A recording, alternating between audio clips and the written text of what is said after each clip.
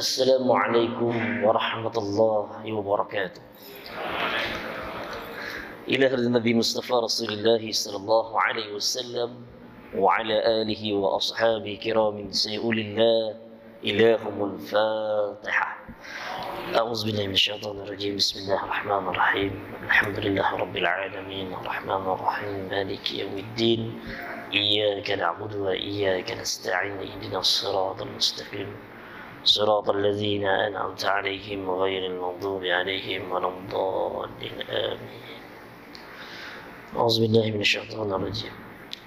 إن الله وملائكته يصلون على النبي يا أيها الذين آمنوا صلوا عليه وسلموا تسليما Mari sama-sama kita bersalawat kepada baginda Rasulullah SAW. Sallallahu ala Muhammad Sallallahu alaihi wasallam Sallallahu ala Muhammad صلى الله عليه وسلم. صلى الله على محمد.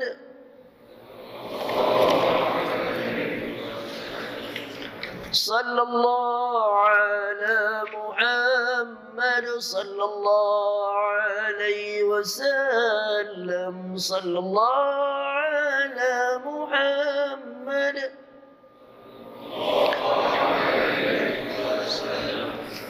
صلى الله على محمد صلى الله عليه وسلم. يا نبي سلام عليك.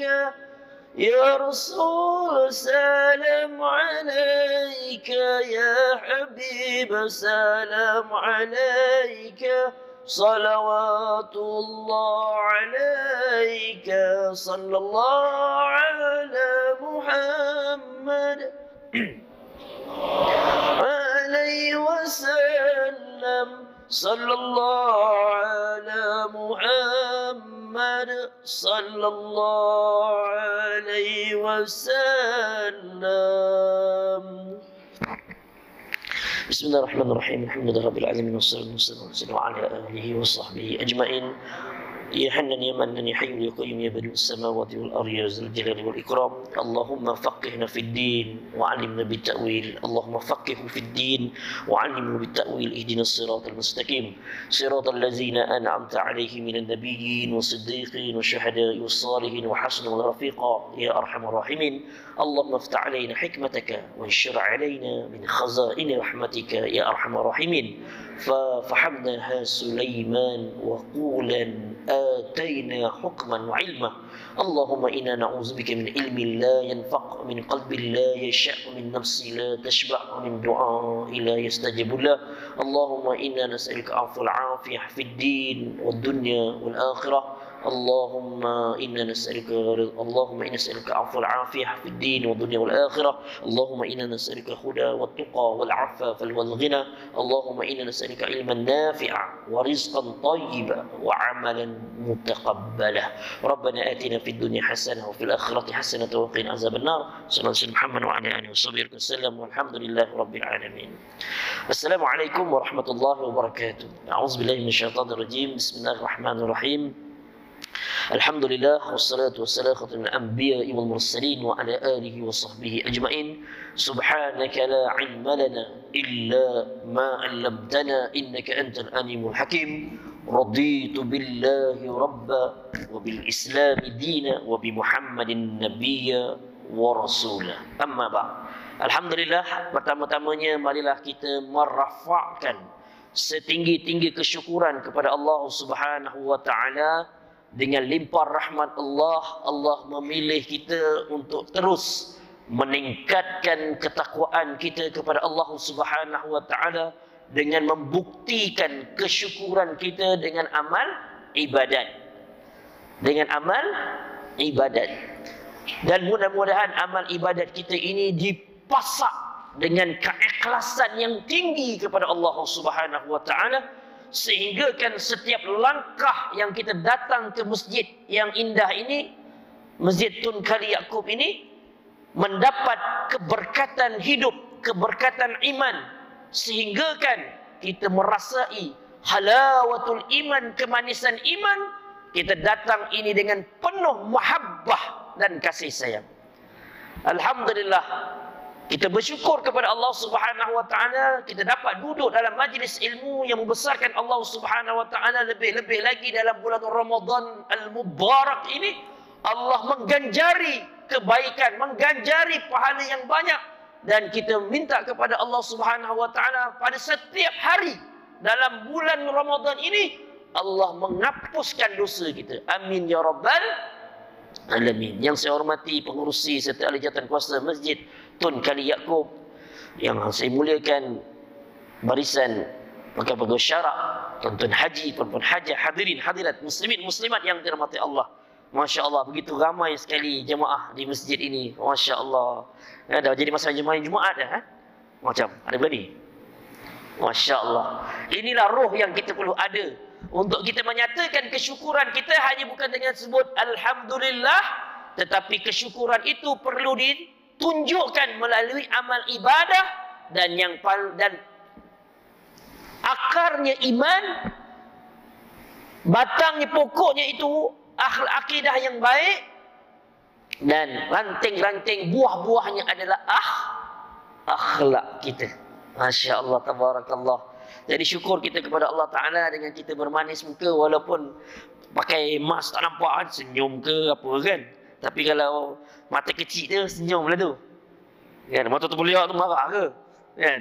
Tapi inilah yang dipanggil sebagai satu halawatul iman. Beramal secara jama'i.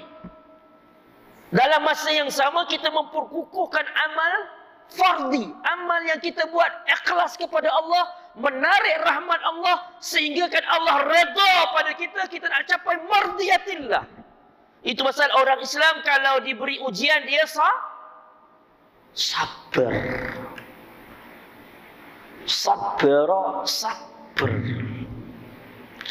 kalau dia berikan nikmat dia apa syukur Bahkan ada orang kena musibah dia sebut apa? Alhamdulillah.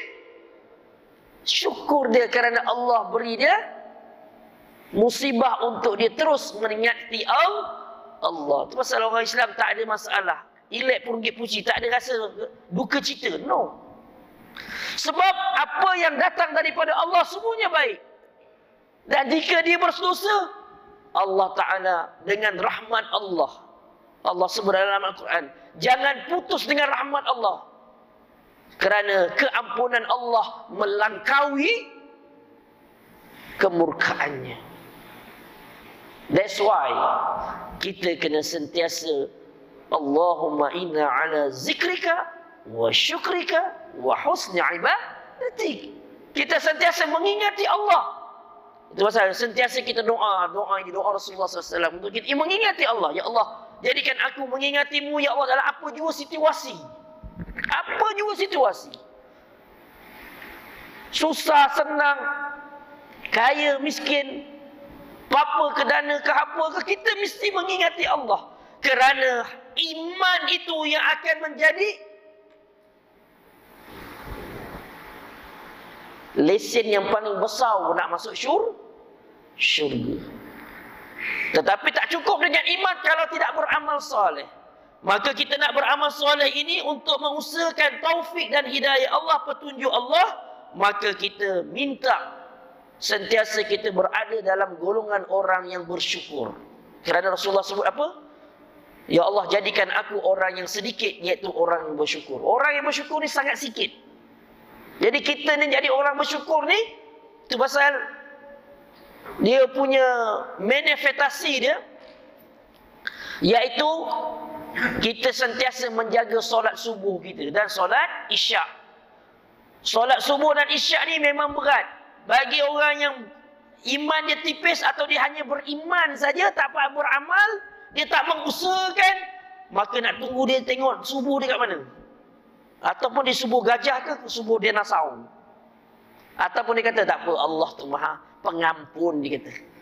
No. Jadi kita nak mengusahakan taufik dan hidayah Allah. Ini subuh tuan-tuan tahniah tuan-tuan. Tahniah. Ini, ini, ini belum masuk 10 akhir lagi ni. Kalau masuk akhir besok ni, ke depan ni, tak muak ni. Insya Insya Allah. Eh, kerana apa? Kita bukan puasa orang awam.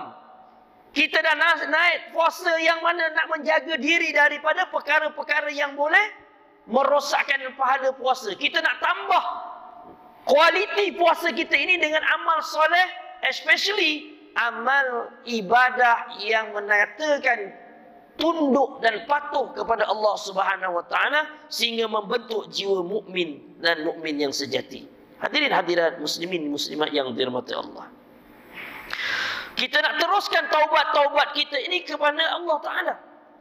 Kerana taubat itu adalah satu pintu untuk masuk kepada keredaan Allah. Siapa sini tak berdosa? Semua orang berdosa, termasuk yang tukang cakap ni. Tetapi dosa kita itu akan dihapuskan bila mana kita menjaga solat kita. Eh? Solat itu merupakan penghapus dosa. Dalam solat pula kita diminta apa? Untuk khusyuk. Qad aflahal mu'minun. Berjayalah orang-orang yang mukmin. Qad aflahal mu'minun alladzina hum fi salatihim khusyuk. Kita solat ni mesti ada tiga khusyuk. Yang pertama khusyuk fi'li. Kedua khusyuk qauli. Yang ketiga khusyuk Nah, siapa, siapa boleh tolong saya? Ustaz Noah ni ceramah ni kan. Fi'li qawli. Yang kedua qal. Ketiga qal. Qalbi. That's why bila kita sembahyang berjemaah tiga-tiga ni dah cover bila mana salah seorang saja khusyuk. Semuanya akan diangkat oleh Allah Subhanahu Wa Taala. Itu pasal sembahyang berjemaah ni sangat penting. Masjid kita ini menyebut jantung kepada kampung, jantung kepada daerah jantung kepada yang lebih besar negara. Itu pasal bersatu kita di dalam masjid. Tak kira apa, tak kira parti apa Kita berikat dengan kalimah la ilaha la ilaha illallah. Itu pasal bila kita diikat dengan kalimah la ilaha illallah, hidup kita ini akan disuburkan dengan akhlak budi pekerti yang tinggi. Kita cepat memaafkan. Kita boleh bermanis muka dengan orang. Kita datang berjumpa kat mana-mana. Alhamdulillah. Assalamualaikum. Kenal ke tak kenal kita beri? Salam. Yang ni jumpa. Assalamualaikum. Siapa awak? Boleh tanya pula. Siapa awak? Tak jawab salam lagi ni. Yang cakap pula tu yang pakai songkok juga tu. Ha, ini selalu bawa orang pergi jemaah umrah kan kita nak amalkan sunnah dekat masjid Nabawi. Beri salam. Assalamualaikum. Boleh tanya pula awak semua. Eh, itu pasal kalau datang ke rumah Allah, datang ke tanah suci tapi tak ada ilmu, tak ada akhlak. Apa ke benda ni? Ada sampah pula buang situ buang. Eh, saya cakap, eh, mana kebersihan itu salah satu daripada cabang iman. Dan Ustaz tuan yang dirahmati Allah. Kita berada dalam masjid Allah Ta'ala ini nak dapatkan ilmu. Untuk kita dapatkan satu mana? Inna salata tanha anil fahsya'i wal munkar. Solat kita itu mencegah kita daripada kemung, kemungkaran. Eh? Itu pasal kita dengan Allah kena bersangka baik. Eh? Jangan sebut je kenapa lah Allah beri aku sakit, kenapa lah Allah tak beri aku kaya. Sebut kenapa, kenapa ni Allah Akbar. Mempersoalkan apa yang Allah telah anugerahkan. Yang penting sekali saya sebut tadi orang mukmin mesti syukur. Melalui amal soleh, ibadah dengan akhlak. Barulah dia jadi orang yang beramal soleh dan mendapat keberkatan dalam hidup kita. Itu pasal Allah Ta'ala jadikan kita ini orang yang sentiasa mendapat keberkatan. Seperti mana kita ini dulu berada dalam keadaan yang hina. Tuan-tuan tahu hina macam mana? Allah Ta'ala jadikan kita daripada mak. Apa itu mak? Air. Apa itu air? Air mak. Air mani kalau beri ayam pun ayam tak nak patuk. Kalau beri pada itik pun itik tak nak sudu. Hinanya kita. Dan di mana kita diriwayatkan. Oleh, uh, dimasukkan kita ini. Di tempat yang lembut. Rahim ibu. Rahim Allah Ta'ala beri dia. Lembut tempat yang membesar kita.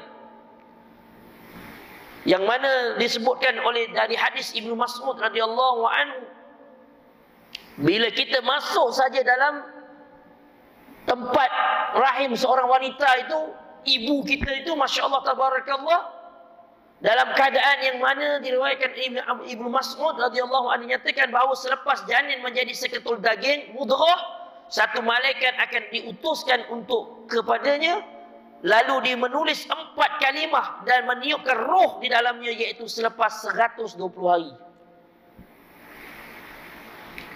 Lafaz riwayat ini berbeza mengenai sus, lafaz eh, 40 hari. Dan malaikat diutuskan kepadanya dan diperintahkan dengan empat kalimah. Kemudian dia meniupkan roh ke dalamnya. Masya Allah. Kita ni telah ditetapkan ajal, maut, rezeki, jodoh semua. Dan ada Allah Ta'ala tetapkan dia pada keadaan yang berduka cita. Tetapi apabila dapat doa berkat daripada seorang ayah dan ibu, mengubah kehidupan daripada buruk kepada baik. Itu pasal kita ni kalau tak ya-ya. Kalau tak dapat doa daripada seorang ibu dan ayah, Masya Allah. Itu pasal doa penting. Ya. Rabbi habli minas salihin. Rabbi habli minas salihin. Ya Allah kurniakan aku di sisimu anak yang salih.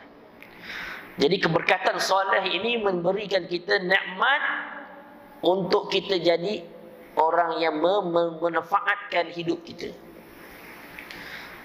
Dalam diri kita ni ada tiga unsur yang kita kena jaga. Yang pertama, roh. Ruh ni ada tak? Ada. Bila ada mana? Bila bernyawa. Bila 120 hari, kita scan, dah ada jantungan, denyutan jantung. Dup, dup. Kalau ibu tu dua jantung nak. Kalau kita pakai as, ultrasound tu, dua jantung. Dua jantung. Satu jantung mak, satu jantung anak.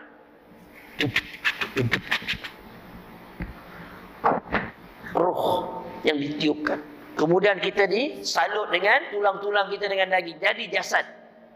Ada jasad. Yang ketiga, roh jasad. Nak membezakan kita dengan makhluk lain, ialah akal. Tiga unsur ini ada makanan dia. Makanan roh. Tidak lain, tidak bukan. Makanan roh mestilah dengan perkara-perkara ma'ruf. Apa dia? Iaitu ilmu. Ilmu itu apa? Ilmu itu akan memimpin iman.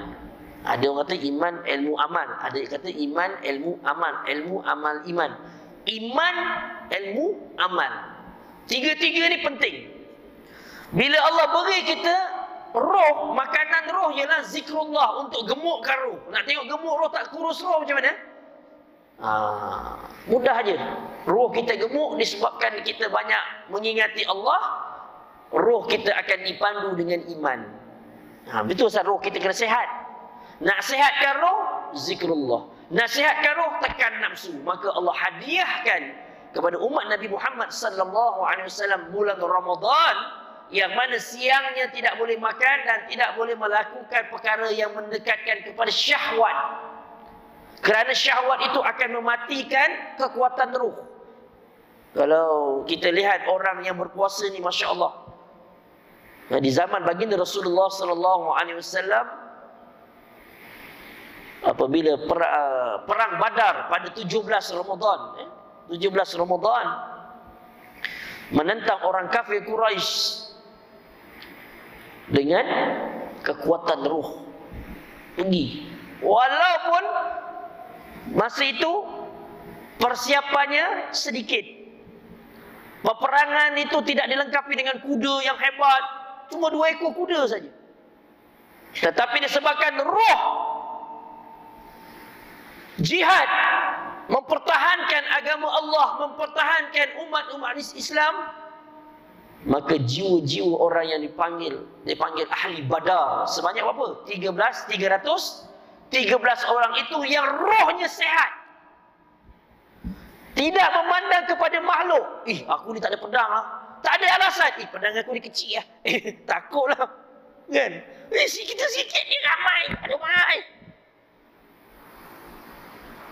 Tetapi disebabkan iman itu dah masuk dalam jiwa, mencintai Allah dan Rasul melebihi mencintai makhluk lain, maka kekuatan itu datang. Yang nakkan cinta kepada Allah nak mendapatkan mardiyatillah. Dan Rasulullah sallallahu alaihi wasallam bermunajat kepada Allah sehingga nampak ketiak ni. Bersungguh-sungguh wahai Allah, jika engkau tidak bantu kami ya Allah, nescaya tidak ada makhluk. Tidak ada orang yang beriman untuk menyembahmu wahai Allah, maka bantulah kami ya Allah. Begitu sekali. Jadi ruh itu penting untuk kita beri makan iman supaya kita ni bila kita munajat kepada Allah ini betul-betul sungguh-sungguh bukan main-main.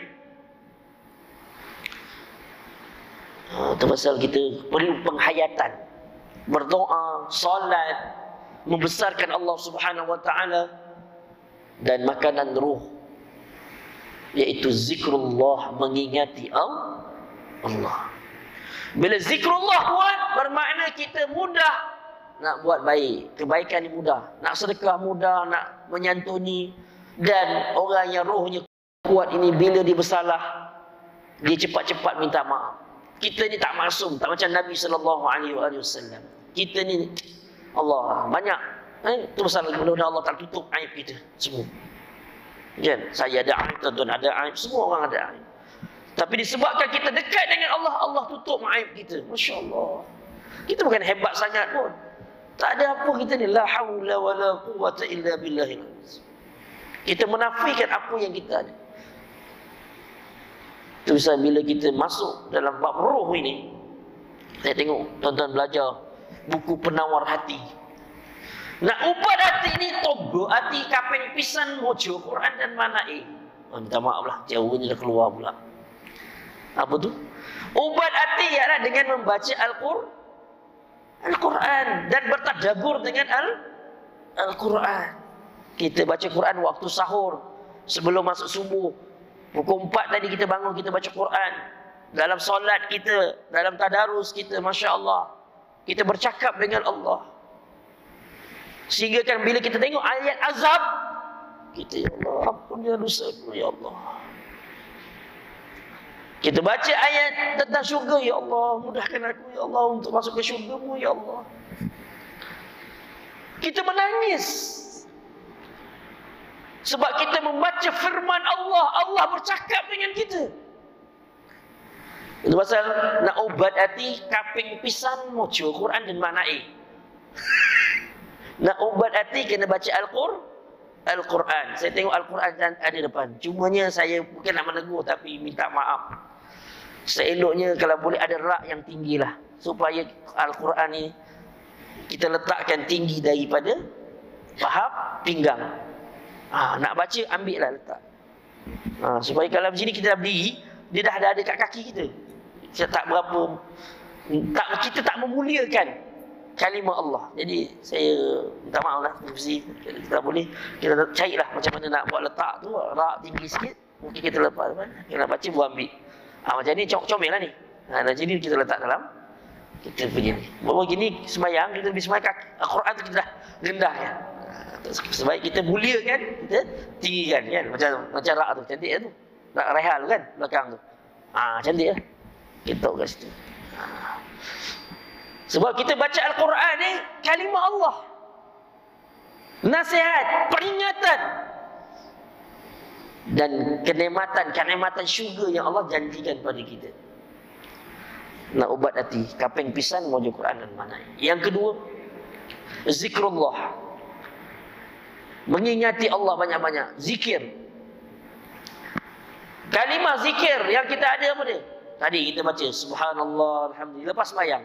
Luar daripada semayang, siapa yang membaca subhanallah sebanyak seratus kali, Allah Ta'ala mengurniakan dia kebaikan yang banyak. Seratus kali. Kita naik motor, kita nak balik rumah. Subhanallah, subhanallah, subhanallah, subhanallah. Ada orang pula dia nazamkan. Subhanallah, subhanallah, subhanallah, subhanallah, subhanallah. Dia nazam. Dia baca subhanallah seratus kali, dia baca alhamdulillah seratus kali, dia baca takbir Allahu akbar seratus kali.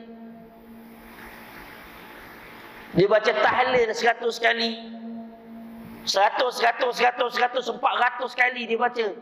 Masya Allah, Allah kurniakan kebaikan. Boleh rujuk kepada kitab Al-Azkar, Al-Imam An-Nawawi. Sesiapa yang membaca 300 ini sehari semalam, daripada pagi dan petang, Allah Ta'ala menghapuskan dosa-dosanya dan memberikan kebaikan. Dan ditambah lagi dengan apa? Wa la quwata illa billah il-aliyyil azim. La hawla wa la quwata illa billah il-aliyyil azim. Dalam kitab Al-Azkar juga Al-Imam An-Nawawi merakamkan yang mengumpul hadis-hadis ini daripada Anas bin Malik. Rasulullah sebut sesiapa yang baca la haula wa la quwata illa billahil aliyil azim sebanyak seratus kali Allah Ta'ala akan buka perbendaharaan syurga kepadanya. Subhanallah wa bihamdihi Subhanallah azim Barakallahu fikum Barakallahu fikum. Ya tuan muslim muslimat yang Pasal zikrullah ni mesti ada. Kita baca maksurat, kita mungkin kita berijazah dengan ratib al-aqas, ratib zazali, ratib apa-apa ratib yang tuan-tuan mungkin uh, terlibat dengan amal-amal dalam dipanggil tarikat. Ya, tarik mendekatkan diri kepada Allah SWT dengan banyak berwirid Bukan nak sebab eh sebab nak dekat dengan negeri dengan Allah aja. Tapi kalau berwirid sebab-sebab lain nak jadi kebal lah, nak jadi apa lah, itu yang terjadi tu. Kes-kes. Saya pernah jumpa seorang pesakit. Dia amal-amal-amal. Rupanya dia beramal tu nak dapat dapat kadam. Kadam ayat dia panggil. Sudah bila dah ada kadam hidupnya panas dengan isteri dengan anak-anak jadi panas. Sudah. Rupanya salah belajar. Belajarnya nakkan dunia. Ha, kan? Amal awak amal ayat ni insya-Allah kebel. Taklud. Rupanya bila kita susur ilmu itu ayat empat, ayat apa? Ayat pendekar kan? Tak apalah. Tapi salah niat Niatnya nakkan dunia. Dapatlah dunia. Tapi kalau orang beramal dengan ayat 4 ke, ayat ke, ayat apa ke, ayat 6 ke, bismillah 5 ke apa, dan sebab nak dekat dengan Allah, Allah akan buka lagi banyak hikmah. Ini tak ada yang belajar ni untuk jadi pendekar, orang tak, yang orang baik jadi digunakan untuk menghadapi musuh yang Nah, ada orang dulu-dulu belajar tapi bila dah tua, ilmu tu dia salah bawa, dah jadi saka pula. Nak mati susah. Ha, eh? Sudah. Sebab saya cakap mesti saya dijemput satu kes di Puncak Alam. 17 tahun merana tak boleh Yalah, dah tua tapi makan banyak. Tapi badannya kurus. Lepas tu negaraku, faham-fahamlah negaraku. Dah umur 70 80 dah, dah terbaring ni. Tapi negaraku macam Lain macam kan? Matanya eh. eh. Jadi tengok. Jadi saya ni baru belajar-belajar. Orang tengok-tengok. Masya-Allah. Saya cakap macam inilah.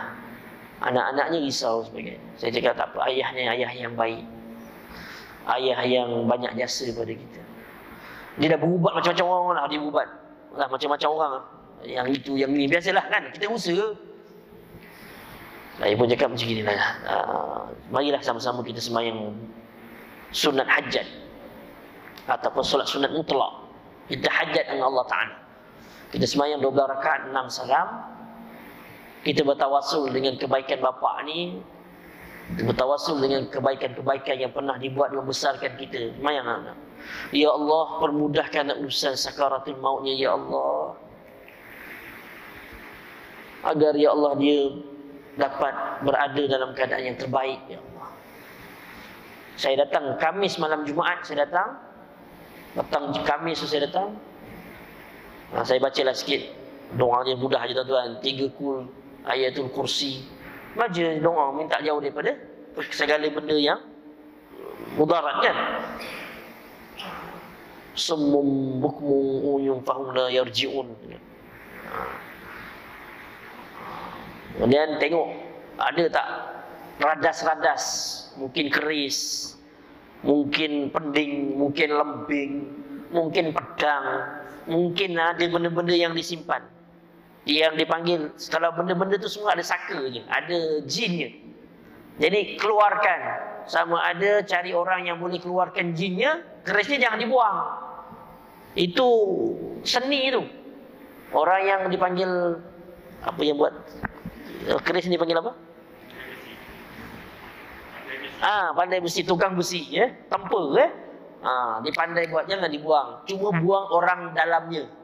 Kerana apa orang zaman dulu keris-keris yang kepada orang-orang pendekar ni dia ada ada jinnya. Ha, senang cerita lah. Ada jinnya. Bila dia bersilat, kerisnya lari, hilang tu, dia boleh panggil balik. Ha, itu je tujuannya. Ha, tapi nak ada lah dia punya mandi dan sebagainya. Cumanya orang yang pakar lah. Ha, tapi itu zaman dulu. Tapi bila zaman tu dah, benda tu dah berlalu. Umur pun dah 80, 90, dah tak, tak ambil pot dah. Dan yang potnya pun gitu je. Jadi benda tu tak dimandikan, dah tak apa. Jadi dia merayau. Ha, dia merayau tu. Ha, jadi kalau tuan-tuan ada ilmu-ilmu yang pelik-pelik, buanglah. Ha, kalau tak buang pun kasihlah orang lain, kasihlah museum. Ha, ni museum mana? Museum Melaka. Ni saya ada simpan keris lama-lama ni awak ambil lah. Tapi dalamnya ada orang pandai-pandai awak lah. ha, tapi ada orang yang memang kepakaran dia. Ha, ini ilmu. Selagi mana dia tak menyembah benda tu Cuma dia nak menguruskan Menguruskan jin tu Macam kita lah Kalau orang jahat nak urus macam mana? Masuk penjara. Kan? Uruskan dia. Ha, Macam urus. Bukannya menyembah dia Tak. Mengurus dia. Ha, Itu pasal ada orang belajar ilmu-ilmu tu. Tapi ilmu tu itu ilmu lama. Diganggu dalam rumah tangga Maka kita kena cari Cari kaedah ha, Doa lah pada Allah saya. Doa dia pada Allah Ta'ala. Udu'u ni Astajib lakum jadi tuan-tuan sebelum pergi Mekah, sebelum pergi haji, pergi umrah, buanglah. Kalau ada ilmu-ilmu dulu-dulu kan, tulis kat kertas, hinakan ilmu yang jahat tu. Buangkan dia. Ha, eh? Wallahu a'lam. Jadi bila roh ini ada makanan dia dengan zikir yang baik-baik, insya-Allah taala kita akan dapat yang baik-baik.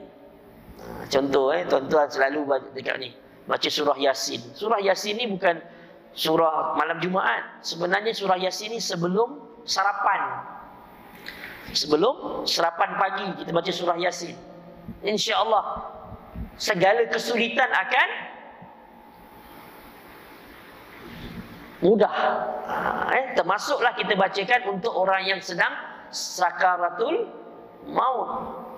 Ha, malam Jumaat kita disyariatkan oleh baginda Rasulullah SAW membaca surah Kah Kahfi ayat 1 sampai 10 atau ayat 100 sampai 110 ataupun full daripada masuk matahari maghrib Jumaat sampailah asar Jumaat. Panjang tu. Jadi kalau kita boleh baca, mungkin kita bagi-bagi kan. Ha, itu amalan tu yang kita kena buat sebab itu semua akan dapat cahaya daripada Allah Subhanahu Wa Taala dalam kehidupan dia. Itu zikir tu. Baca surah kah? Kafi. Apa lagi? Zikir yang menyebabkan kita merendahkan diri kepada Allah Subhanahu Wa Taala. La ilaha illa anta subhanaka inni kuntu minaz zalimin. Kita mengesahkan Allah. Tiada Tuhan melainkan Allah. Subhanaka. Aku mensucikan engkau daripada menduakan Allah, mensyirikkan Allah, mensucikan daripada perkara-perkara. Subhanaka. Ini sesungguhnya. Ha ni. Aku menzalimi diriku sen sendiri. Ini kita berbanyakkan zikir ni. La ilaha illa anta subhanaka inni kuntu minaz zalimin. La ilaha illa anta subhanaka inni kuntu minaz zalimin. Dalam riwayat lain mengatakan doa Nabi dalam Al-Quran ini doa Nabi Allah Yunus alaihi salam bila mana dia melarikan diri daripada berdakwah kepada kaumnya dan ditelan oleh ikan nun. Dan Allah, dia bertaubat kepada Allah Taala. Nabi uh, Yunus bertaubat kepada Allah Taala dan ikan nun. Akhirnya di dilepaskan dimuntahkan oleh ikan nun dan kembalilah dia. Ini kita nak zikir kita. Yang ketiga berkumpul dengan orang soleh Berkumpul dengan orang soleh ni tuan-tuan yang dirahmati Allah Ta'ala sekalian menyantuni orang. Orang yang soleh dalam kalangan kita siapa? Yang pertama sekali ibu dan ayah kita. Itu orang soleh. Kenapa kita cakap dia soleh? Kerana ibu dan ayah kita banyak jasa pada kita. Ustaz, ayah saya ni nge-Quran pun tak pandai baca. Ustaz, yang pun lolak-lolak. Dia soleh ke Ustaz? Kita sebagai anak, Inilah doa kita. Doa ibu bapa kita yang tidak ditolak oleh Allah SWT. Ingat bagaimana Rasulullah SAW satu hari nak naik mimbar. Satu tangga amin. Naik mata tangga kedua amin.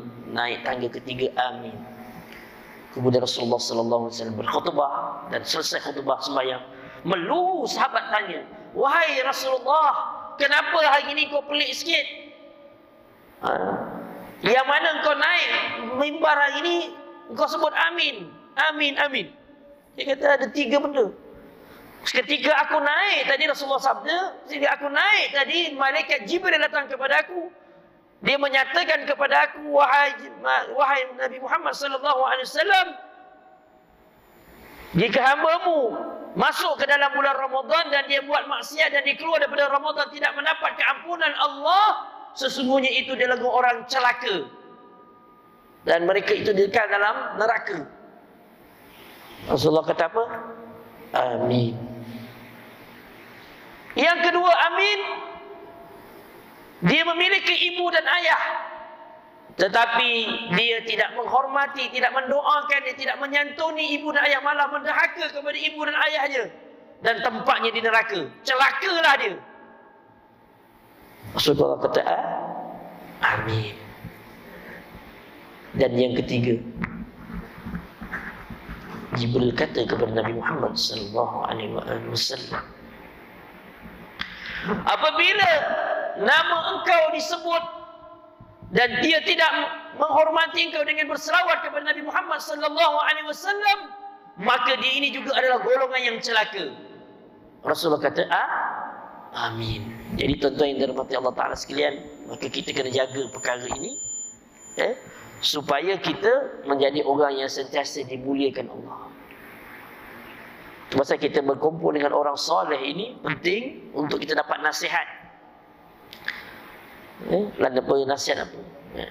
orang soleh ni macam mana? Orang yang bukan yang soleh ni jelas yang beribadah kepada Allah yang jaga kata-kata dan Masya Allah Tabarakallah. Eh. apa yang Allah suruh dia buat apa yang Allah suruh dia tinggal. Tentu yang dirmati Allah. Satu dua orang soleh. Yang ketiga yang keempat. Yang keempat ialah sentiasa bangun malam. Ha, bangun malam. Kita disiarkan dalam bulan Ramadan ni perbanyakkan kurangkan tidur malam. Dan kita baca Quran dan sungguhnya syafaat. Syafaat Ramadan ini, syafaat puasa dan Al-Quran ini akan datang kepada kita untuk memberikan syafaatnya. Di akhirat besok, kita akan mendapat syafaat daripada Al-Quran dan juga puasa Ha, kerana kita bangun malam tu, eh, mungkin kita bangun pukul empat setengah, kita sembahyang dua rakaat, kita baca Quran. Eh? Kerana bangun malam itu antara orang yang sentiasa rapat dengan Allah. Ini kita dah belajar, kita dah praktis. Kerana apa tuan-tuan? Sesungguhnya yang akan menyebabkan kita berada di alam barzah. Alam barzah ni lama tuan-tuan. Lama dalam barzah ni. Eh, kalau kita kita ziarah kubur uh, kita pergi kam, kam, apa ni Pulau Besau. Ada sana nama dia Asul, uh, kubur As-Sultan Arifin. Yang buat mar, kira buat pondok lah zaman dulu tu lah. Pondok kan. Ha, zaman buat pondok dekat ni sehingga kan orang yang nak berdakwah ke Majapahit Sunan Bonang, Sunan Giri singgah di bumi Melaka ini di Pulau Besau itu menuntut ilmu, menambah ilmu. Ha? Sultan Al-Arifin itu mendidik ha? nak dapatkan keberkatan. Okey. Terus kita ni nak kena jumpa orang yang yang baik-baik untuk dapat nasihat. Tentu yang dirahmati Allah Taala sekalian. Maka bangun malam tu penting. Dan yang terakhir ialah yang terakhir apa? Ha, yang pertama tadi apa tadi? Ingat lagi. Syekh. Ingat lagi. Yang pertama apa? Apa dia? Baca Al-Quran. Zikrullah. Apa lagi? Berkumpul dengan orang saleh. Bangun malam. Perbanyakkan puasa. Ha, yang kelima. Perbanyakkan puasa. Puasa ni tuan-tuan yang kita puasa hari ini iaitu puasa yang wajib ini kita dikendaki, kita dituntut dan Rasulullah sallallahu alaihi wasallam kata dua kegembiraan iaitu berbuka dan bertemu dengan Allah Subhanahu wa taala nanti. Dan kita mendapat syurga Ar-Rayyan, masuklah pintu. Satu pintu yang mana pintu itu pintu khas untuk orang yang berpuasa. Dan orang yang berpuasa ni pula ada tambah nilai dia lagi apa? Dengan memberi makan kepada orang berbuka puasa. Itu pasal tuan-tuan, hari-hari tuan-tuan beri makan buka puasa. Sama ada tuan-tuan secara jama'i, kasih duit dekat masjid, kasih dia buat bubur tu Oh, dia buat bubur eh. Ha, bubur sedap lah, jangan bubur ala kadar je kan. Ada dagingnya, ada kacangnya, ada apa ni rempah biryani makan tu subhanallah sedap kan. Ini tak makan. Nah. Pasal ada orang buat bubur satu bubur satu gan, satu periuk besar tu RM600. Kenapa? Niat apa? Nak beri orang makan se sedap. Bukan sekadar itu. Eh? Bukan sekadar kadar je. Alah, asal buat, buat. No. Beri orang makan. Subhanallah. Orang makan. Subhanallah. Ya Allah. Murahkan rezeki orang. Ya Allah. Disebut apa? jazakallahu khairan jazak. Semoga Allah kurniakan kebaikan yang banyak kepada kamu yang memberi makan. Malah Rasulullah sebut apa? Siapa yang beri makan kepada orang yang berpuasa dan dia makan orang yang, ber, orang yang makanan yang diberikan itu sesungguhnya pahalanya seperti mana orang yang berpuasa. Eh, tidak dikurangkan sekali pun. Maksudnya kita dapat dua pahala. Orang kita berpuasa dapat kita nak tampal mungkin kita ya maklumlah kita ni manusia puasa tadi tertengok terkata, terlafaz. Jadi nak cover up. Jadi kita buat baik dengan hubungan dengan manusia. Terasa dengan jiran tetangga kita sedekah pagi-pagi sedekah. Sedekah apa? Sedekah salam. Assalamualaikum bang. Sedekah. Jangan sedekah tai kucing. Pagi-pagi dah sedekah tai kucing kat jiran. Hancing betul pagi-pagi. Jangan buat dosa kering. Kita nak bela kucing boleh. Tapi pastikan bau tai kucing jangan sampai rumah jiran. Ha, macam ustaz. Kadang-kadang orang ni minta maaf cakap dia nak amalkan sunnah. Bela kucing sunnah ustaz. Ya betul. Saya tak nafikan. Tetapi kalau bela kucing sampai tujuh ekor sampai jamban pun dekat tempat makan Bapak mentua tak datang, tak lama duduk ataupun tetamu datang, dia duduk sekejap je. Sebab tak tahan tengok adik-adiknya. Apa pasal kencing tu? Ha, dia tengah buang air tu. Ha?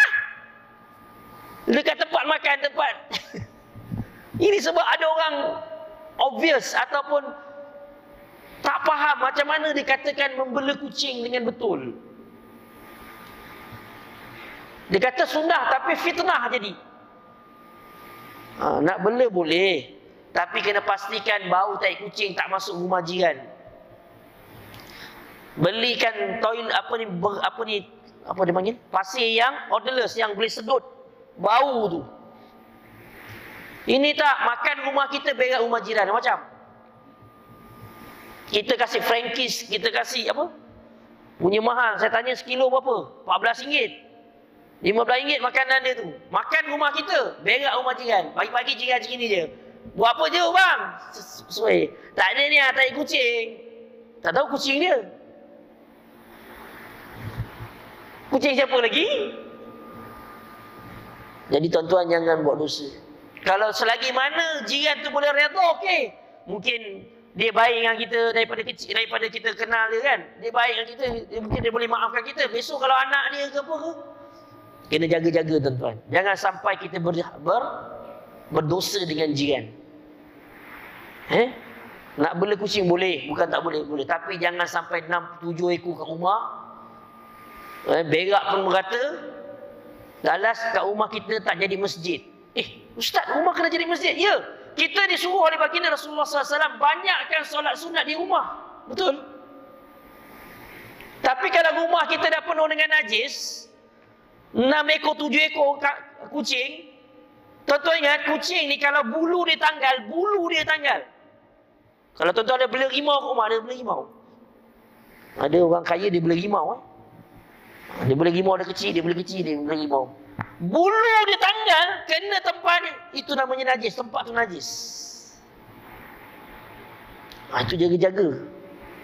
Jadi kalau kita nak kita beli kucing, pastikan kita vacuum selalu pastikan tempat kita sembahyang tu bersih daripada bulu kucing.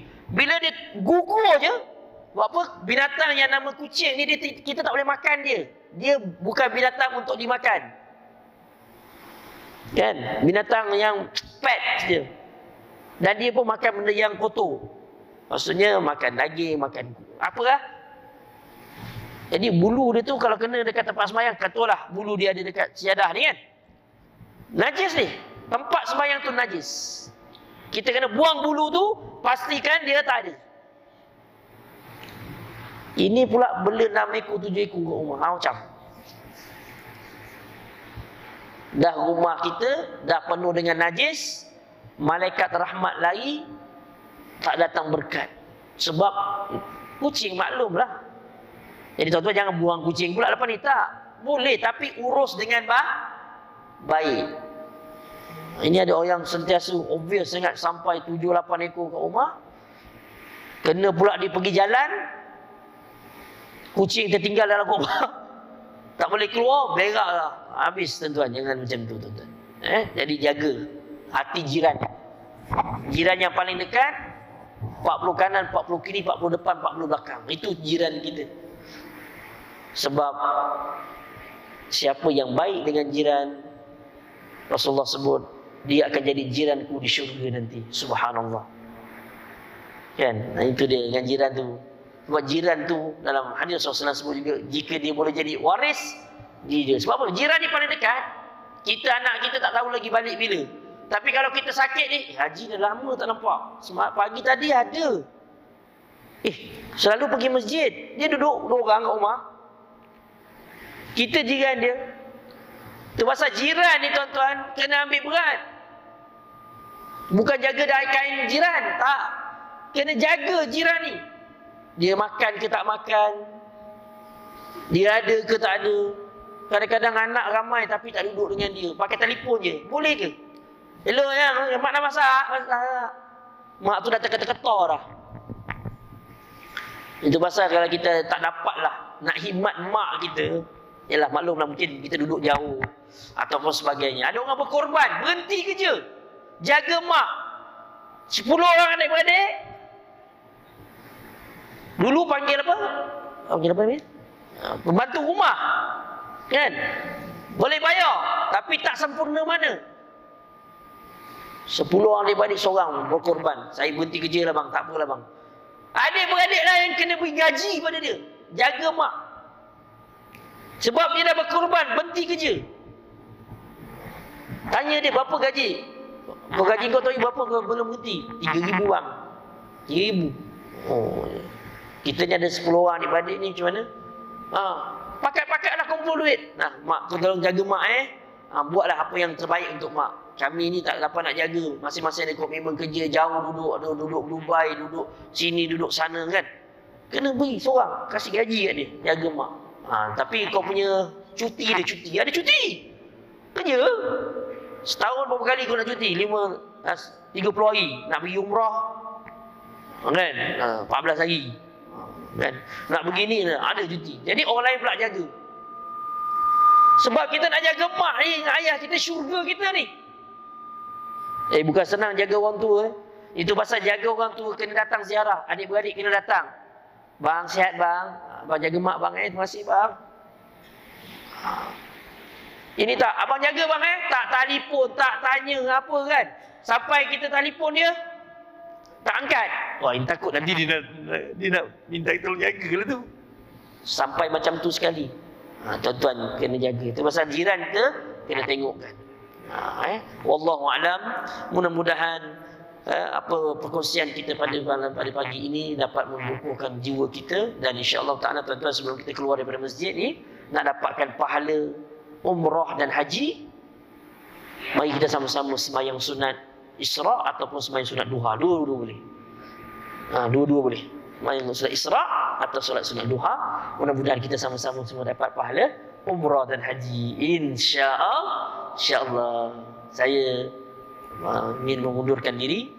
Uh, saya Ustaz Muhammad Anwar Muhammad Talib menyusun 10 jari mohon ampun dan maaf daripada ujung rambut sampai ujung kaki kapan saya di segala perkataan yang menyinggung perasaan tuan-tuan hadirin hadirat saya mohon maaf. Orang Melaka ni ada pantun dia. Ikan gelama ikan tenggiri moga Allah Taala berkati. Kalau ada jarum yang patah jangan disimpan dalam peti. Saya Ustaz Muhammad Anwar Muhammad Talib ada silap dan salah mohonlah dimaafi daripada ujung rambut sampai ujung kain kapan saya. Dan sama-sama kita mohon ampun dengan Allah dengan kita menafaskan sayyidul istighfar. Allahumma anta rabbi la ilaha illa anta khalaqtani وأنا عبدك وأنا على حدك وعهدك ما استطعت. أعوذ بك من شر ما صنعت عبدك علي وبذنبي. فاغفر لي فإنه لا يغفر الذنوب إلا أنت. لن تسمح كفارة. سبحانك اللهم وبحمدك أشهد أن لا إله إلا أنت أستغفرك وأتوب إليك. سبحانك اللهم وبحمدك. أشهد أن لا إله إلا أنت أستغفرك وأتوب إليك سبحانك اللهم وبحمدك أشهد أن لا إله إلا أنت أستغفرك وأتوب إليك Alhamdulillah Rabbil Alamin Segala yang baik itu datang daripada Allah Yang kurang elok dan kemudahan saya sendiri Jazakumullahu khairan jazak Kepada Tuan Haji yang sudi menyebut saya Alhamdulillah mudah-mudahan kita bertemu lagi di masa yang akan datang Aku lihaza wa astaghfirullahi wa li wa lakum Wa billahi taufiq wal hidayah Wassalamualaikum warahmatullahi wabarakatuh